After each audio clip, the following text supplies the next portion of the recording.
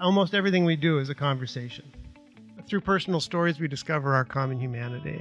When we are able to really be vulnerable and share that core thing, and you find out two people who you would think would be very different find that they're actually very similar. We miss so much because of our story and not being aware of our story.